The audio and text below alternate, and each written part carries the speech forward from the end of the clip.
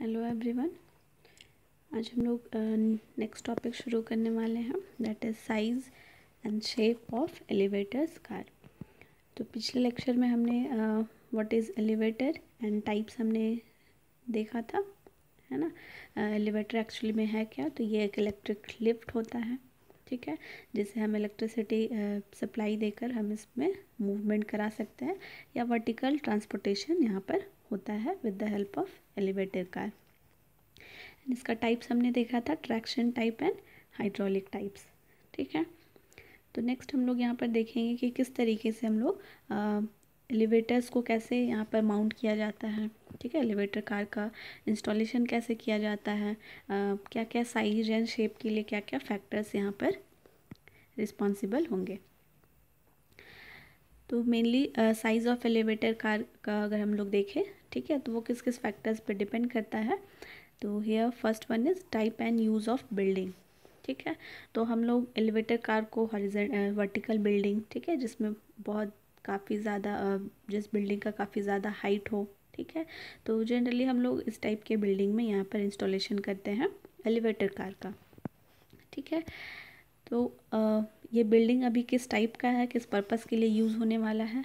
ठीक है? Domestic building है या फिर कमर्शियल बिल्डिंग है। ठीक है तो इस पर डिपेंड करता है कि हम लोग एलिवेटर कार का इंस्टॉलेशन किस तरीके से करेंगे एंड साइज़ इसका एलिवेटर कार का कैसा होगा। ठीक है ऑब्वियसली अगर हम डोमेस्टिक पर्पज़ के लिए कर रहे हैं तो हम जनरली हम पीपल को, ठीक है पीपल के ट्रांसपोर्टेशन के लिए from one floor to another floor हम लोग यूज़ करेंगे। बट अगर हम कमर्शियल एस्पेक्ट से देखें तो यहाँ पर पीपल के साथ साथ हम गुड्स का भी ट्रांसपोर्टेशन करेंगे, ठीक है? जो कि बहुत ज़्यादा वेट का होगा। तो इसके ये डिपेंड करता है साइज़ और शेप एलिवेटर कार का कैसा होगा, ठीक है? कि हम जिस बिल्डिंग पे इंस्टॉल करने वाले हैं, इसका पर्पस क्या होने वाला है। नेक्स्ट फैक्टर डिपेंड करेगा, floor, plate size and height of the building, ठीक है? तो अब हमारे पास हमने अपने बिल्डिंग में इंस्टॉल करने के लिए, ठीक है एलिवेटर कार को इंस्टॉल करने के लिए जितना स्पेस हमने रखा है, ठीक है, सबसे पहले हमने types of building and use of building हमने डिटरमाइन किया। एंड उसके बाद फिर हम उस बिल्डिंग के लिए हम फ्लो लिफ्ट के लिए या फिर एलिवेटर कार के लिए हम फ्लोर प्लेट साइज़ क्या रखना चाहते हैं, ठीक है? अगर गुड्स कैरी भी करना है पीपल को भी कैरी करना है तो उसके अकॉर्डिंगली फ्लोर प्लेट यानी कि जो आपका एरिया होगा ठीक है, जहाँ पर यूज़ किया जा सकता है। दैट मीन्स कि जो कार का फ्लोर का एरिया होगा, जहाँ पर गुड्स को कैरी किया जा सकता है या पीपल वहाँ पर रह सकते हैं। तो ये हमारा कहलाता है फ्लोर प्लेट साइज़ तो इसके अकॉर्डिंगली हम लिफ्ट का या कंप्लीट एलिवेटर कार का भी साइज़ एंड शेप हम डिसाइड करते हैं। ठीक है हाइट ऑफ़ द बिल्डिंग पे ऑब्वियसली डिपेंड करेगा।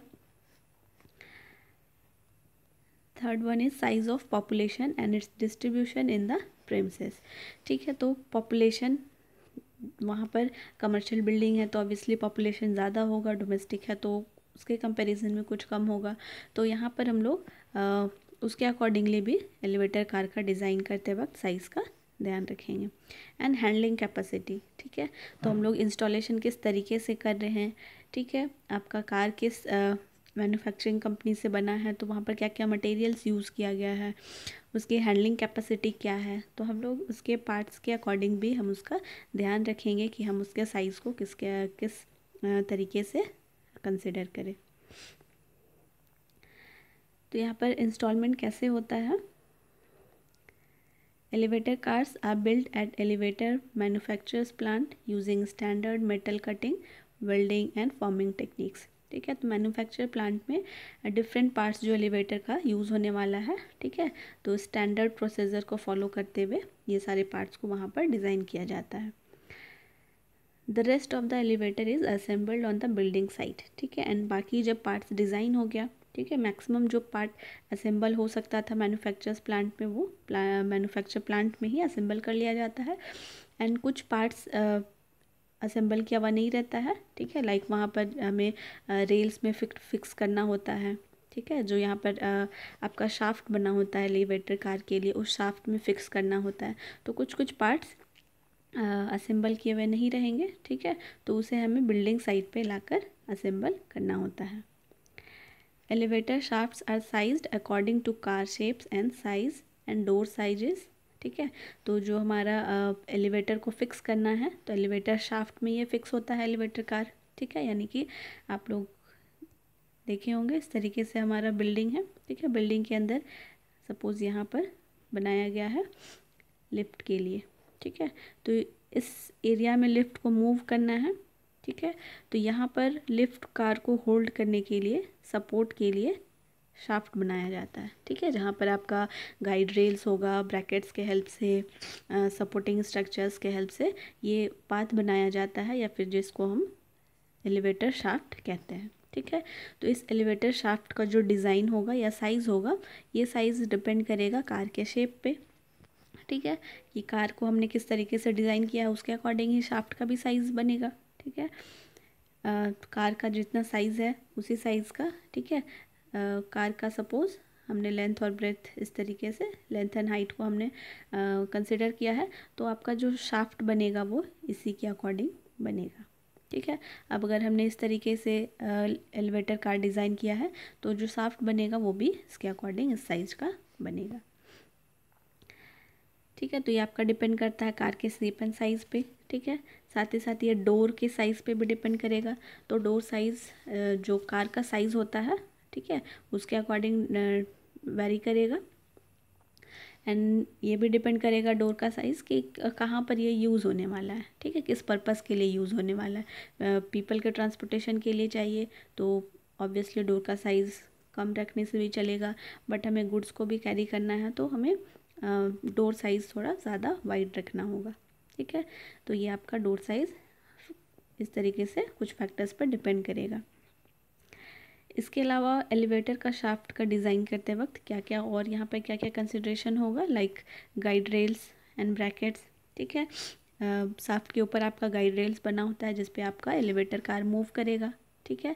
तो इसका गाइड रेल जो है वो कितना स्पेस ले रहा है, ठीक है? इस पर डिपेंड करेगा शाफ्ट का design and size counter weight system ठीक है? काउंटर वेट यहाँ पर लगा होता है तो काउंटर वेट सिस्टम का भी साइज़ या फिर उसका प्रेजेंस भी मैटर करेगा एलिवेटर शाफ्ट को डिज़ाइन करते वक्त। रनिंग क्लियरेंस होना चाहिए ठीक है? अब ऐसा नहीं कि हम आ, जब एलिवेटर कार को मूव करा रहे हो तो ये अपने साइड वॉल से टच हो रहा हो ठीक है? ठीक है तो ये सेफ्टी पर्पज़ के लिए सही नहीं है। तो ये क्लियरेंस जो होगा ठीक है? वॉल से हो गया ठीक है? टॉप में क्लियरेंस बॉटम में क्लियरेंस साइड्स का क्लियरेंस तो ये प्रॉपर रनिंग क्लियरेंस यहाँ पर होना चाहिए।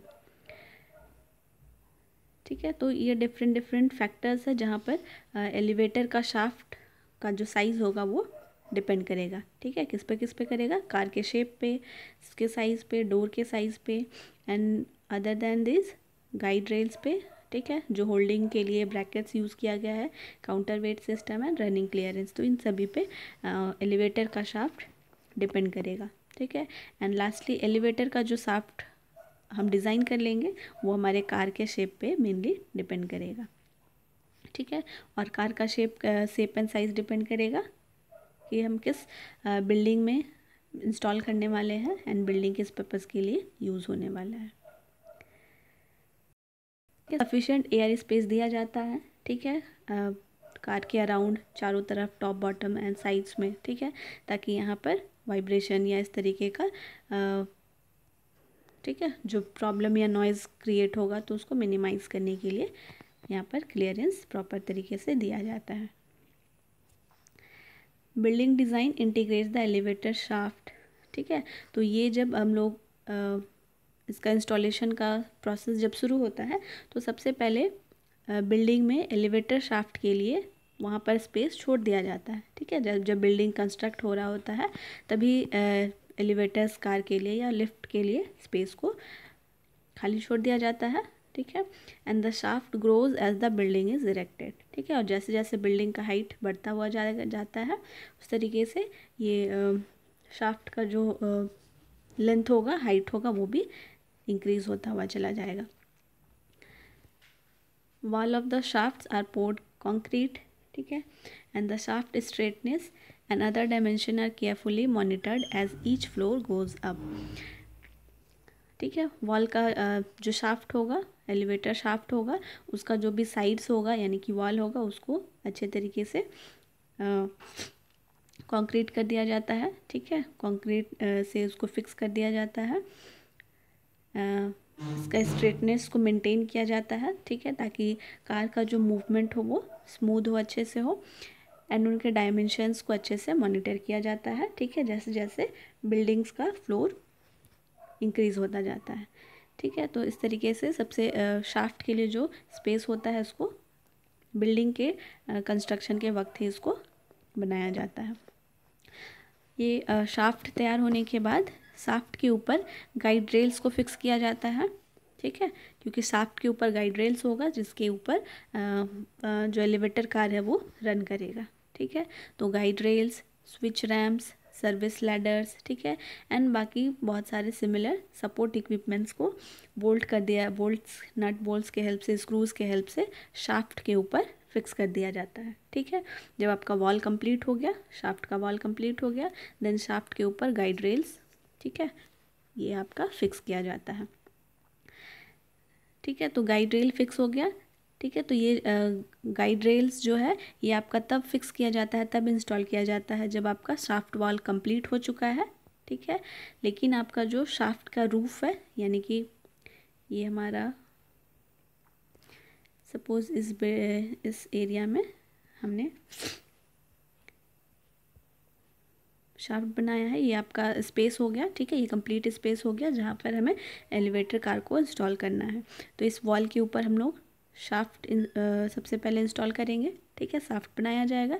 एंड शाफ्ट के ऊपर, ठीक है? शाफ्ट आपका प्रॉपरली फिक्स्ड होगा कॉन्क्रीट्स के हेल्प से। एंड इस शाफ्ट के ऊपर आपका गाइड रेल्स बनाया जाता है, ठीक है? इसके ऊपर गाइड रेल्स बनाया जाएगा, जिसके ऊपर व्हील्स के थ्रू ये आपका जो एलिवेटर कार है, वो मूव करेगा, ठीक है? तो ये जब आपका वॉल कंप्लीट हो जाता है, शाफ्ट का वॉल कंप्लीट हो जाता है, तब ये रेल्स को गाइड रेल्स को यहाँ पर लगाया जाता है। एंड जो आपका टॉप होगा, ठीक है? ये roof roof of the shaft जो यानी कि जो अपर पार्ट होगा, ये ओपन रहता है, ठीक है? तो जब इसको, इसके अपर पार्ट को या रूफ को कंप्लीट करने से पहले आपका ये गाइड रेल को फिक्स कर दिया जाता है। एंड ये आपके शाफ्ट के वॉल कंप्लीट होने के बाद किया जाता है, ठीक है?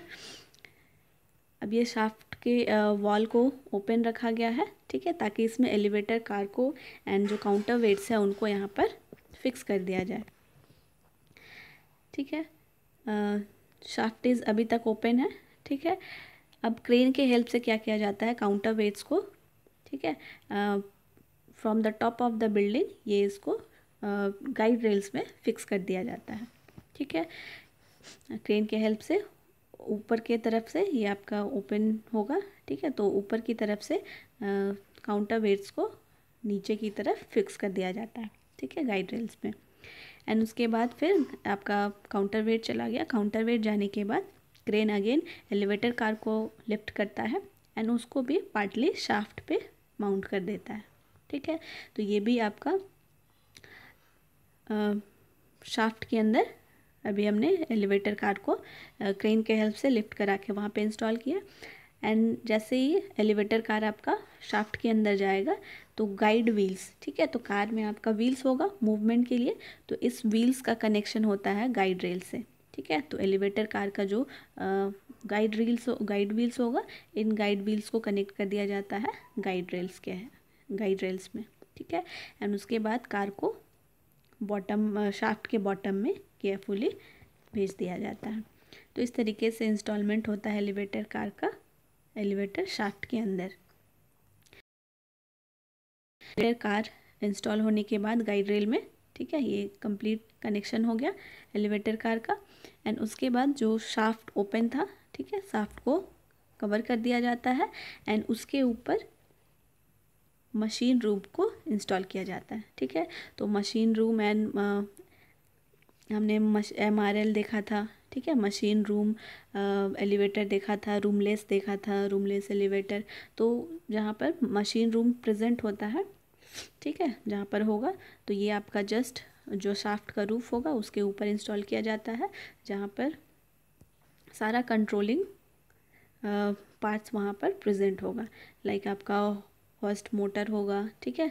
गवर्नर कंट्रोलर होगा और बाकी के जितने भी इक्विपमेंट्स जो कंट्रोल कर रहा है आपके एलिवेटर कार को या फिर पूरे मैकेनिज़्म को तो ये सारा कंट्रोलिंग इक्विपमेंट्स आपके मशीन रूम में प्रेजेंट रहेगा। वहाँ पे इंस्टॉल कर दिया जाएगा। ठीक है? एंड जो मोटर है जस्ट आपके शाफ्ट के रूफ के ऊपर है, ठीक है? एंड इस मोटर को डायरेक्टली एलिवेटर कार के पुली के साथ में कनेक्ट कर दिया जाता है। ठीक है? हमने इसके वर्किंग के टाइम देखा था, किस तरीके से कनेक्टेड होता है। Elevator and governor cables are strung and attached ठीक है? तो जो आपका मोटर्स से, ठीक है? मोटर्स से आपका पुली कनेक्टेड था एंड पुली से जो भी केबल्स या फिर स्टील रोप्स ठीक है कनेक्टेड है, वो आपका वापस से एलिवेटर कार के साथ कनेक्ट हो जाएगा। ठीक है? एंड अच्छे से उसको अटैच करने के बाद उसमें इलेक्ट्रिकल पावर दे दिया जाता है। ठीक है? इलेक्ट्रिकल कनेक्शन कंप्लीट हो जाएगा एंड कंट्रोलर को प्रोग्राम कर दिया जाता है ताकि जब भी हम लोग लिफ्ट में जो भी आपको बटन्स दिए हुए हैं, ये हम लोग प्रेस करें। ठीक है? तो ये कंट्रोल आपके कंट्रोलर को चला जाएगा जिसमें प्रोग्रामिंग किया हुआ है एंड कंट्रोलर के अकॉर्डिंग uh, ठीक है वो जैसा रिस्पॉन्स करेगा उसके अकॉर्डिंग आपका सिग्नल चला जाएगा मोटर को ठीक है एंड मोटर फिर उसके अकॉर्डिंग रन करना शुरू करेगा। तो इस तरीके से यहाँ पर uh, जो हमारा एलिवेटर कार है उसका साइज़ एंड सेप्स यहाँ पर क्या क्या फैक्टर्स अफेक्ट कर रहा है हम लोग देख सकते हैं एंड इंस्टॉलमेंट किस तरीके से किया जाएगा। कुछ यहाँ पर स्टैंडर्ड चार्ट दिया हुआ है कि एलिवेटर कार का फ्रूट प्रिंट एरिया ठीक है? कि जितने स्पेस में हम लोग गुड्स को या फिर पीपल को कैरी कर सकते हैं, वो फ्रूट फुटप्रिंट एरिया यहाँ पर क्या क्या हो सकता है? तो ये डिपेंड करेगा आपका लोड कैरिंग कैपेसिटी पे, ठीक है?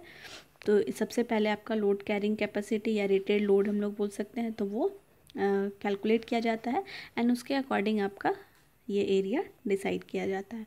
तो अगर हम लोग यहाँ पर देख सकते हैं मैक्सिमम फाइव हंड्रेड का रेटेड लोड अगर हम कंसिडर करें, ठीक है तो ये सेवन फीट स्क्वायर का हमें फुटप्रिंट एरिया का डिज़ाइन करना होगा। तो इस तरीके से जैसे जैसे रेटेड लोड बढ़ता हुआ जाएगा, ठीक है, ये एरिया भी बढ़ता हुआ जाएगा।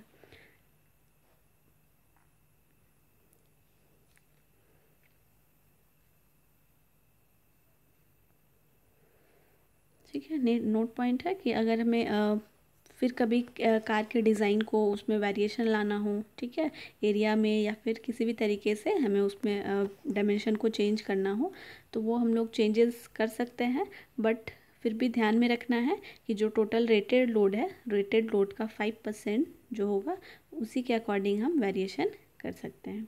ठीक है? फाइव परसेंट से ज़्यादा वेरी नहीं करना चाहिए।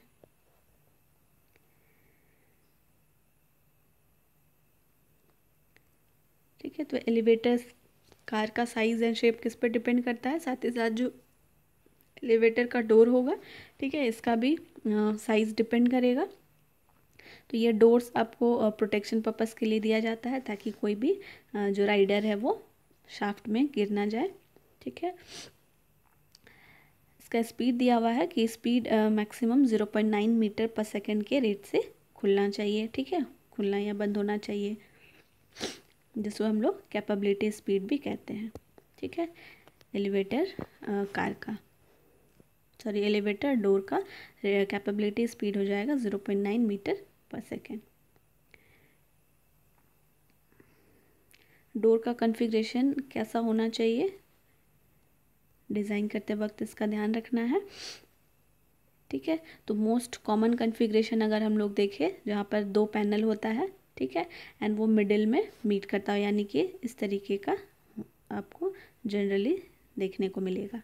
ठीक है? जहाँ पर इसको लेफ़्ट एक साइड स्लाइड किया जा सकता है एंड दूसरे को अपोजिट साइड में। तो ये डबल ओपनिंग या डबल जिसे हम बाई पार्टिंग डोर भी कहते हैं, ठीक है? तो बाई पार्टिंग डोर का यूज़ जनरली किया जाता है। ठीक है? तो इस तरीके का जो bi parting single speed bi parting door कहने का मतलब कि दोनों एक ही स्पीड से बाई पार्ट होगा, ठीक है? दोनों का जो स्पीड होगा, मूव करने का या ओपन या क्लोज होने का सेम होगा तो इसे हम single speed bi parting door कहते हैं। एंड इस तरीके का डोर्स का इंस्टॉलमेंट लार्जर कैपेसिटी रेंज के लिए किया जाता है, ठीक है? Two speed bi parting door ठीक है, जहाँ पर दोनों का स्पीड जो होगा अलग अलग हो सकता है, ठीक है। कभी वो फास्ट एक्शन करे, ठीक है, कभी दूसरे स्पीड से तो यहाँ पर दो स्पीड ठीक है, यहाँ पर मेंटेन किया जाता है। तो इसे हम two speed bi parting door कह सकते हैं। तो इनका यूज़ किया जाता है जहाँ पर वाइड ओपनिंग का रिक्वायरमेंट हो, ठीक है। जहाँ पर बहुत ज़्यादा लार्ज पैसेंजर्स यूज़ कर रहे हैं एलिवेटर्स को ठीक है? साथ ही साथ सर्विस एलिवेटर्स भी हो ठीक है? जहाँ पर हमें गुड्स को कैरी करना होता है कमर्शियल प्रेमिसेस में तो वहाँ पर two speed bi parting doors का इंस्टॉलमेंट किया जा सकता है। Cascading configuration is sometimes use ठीक है? तो कैस्केडिंग कन्फिग्रेशन ये भी uh, इस तरीके का बाई पार्टिंग ही होता है। ठीक है? डबल डोर वाला होगा। बट इसमें क्या होता है कि अगर आपको क्लोज़ या ओपन करना है तो जब हम लोग क्लोज़ करेंगे, ठीक है? तो क्लोज़ करते वक्त ये दोनों एक दूसरे के ऊपर इस तरीके से ओवरलैप टाइप हो जाता है, ठीक है? एंड इधर का जो स्पेस रहेगा, ये आपका ओपन स्पेस है, जहाँ से हम इन या आउट हो सकते हैं एंड दूसरा ये आपको स्पेस मिलेगा, ठीक है? तो ओपन के कंडीशन में इस तरीके से ओवरलैपिंग होता है एंड जब हमको वापस जब क्लोज़ करना हो, ठीक है? तो ये कैस्केडिंग कन्फिग्रेशन में आ जाता है, ठीक है? एक के साथ एक, इस तरीके से ये क्लोज हो जाएगा। तो इस तरीके का कन्फिग्रेशन भी यूज़ किया जाता है जहाँ पर, ठीक है? वाइड ओपनिंग का रिक्वायरमेंट हो या एप्लीकेशन के अकॉर्डिंग ये यहाँ पर यूज़ हो सकता है। ठीक है, यहाँ पर कुछ हाइट्स डायमेंशन दिया हुआ है। पैसेंजर एलिवेटर ठीक है, यानी कि सिंपल हमें राइडर्स या पैसेंजर्स को कैरी करना है। तो इस तरीके के एलिवेटर्स का जो साइज़ आपको दिया हुआ है, ठीक है thousand seventy M M maximum width हो सकता है।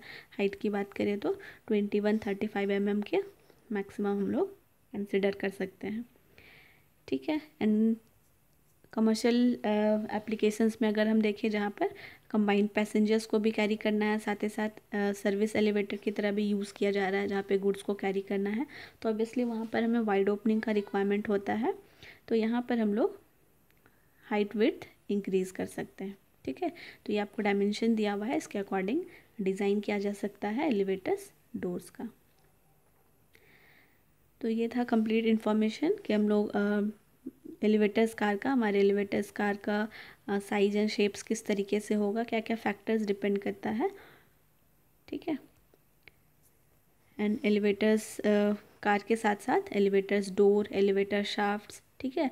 जो कंप्लीट एलिवेटर कार को इंस्टॉल करते वक्त जितना भी यहाँ पर इक्विपमेंट्स एंड जितना भी प्रोसेसर फॉलो हो रहा है तो उसके कंप्लीट हम लोग यहाँ पर डायमेंशंस को कंसिडर करेंगे।